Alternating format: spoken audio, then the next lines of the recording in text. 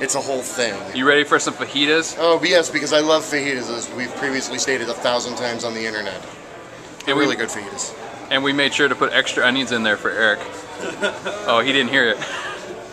I guess the surprise will be on him. No, it'll be on all of us. Oh. He's allergic for viewers at home. He's actually not. Oh, he's just uh, finicky. Sensitive. Oh, good word, good word.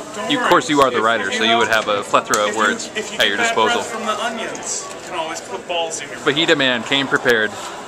Put balls in your mouth? What? balls. Hang on, everybody. Well, I want to congratulate him because he's the first person to make that joke. Put 'em. Congratulations. This is a family dog. You're the most hilarious virgin I've ever met. Are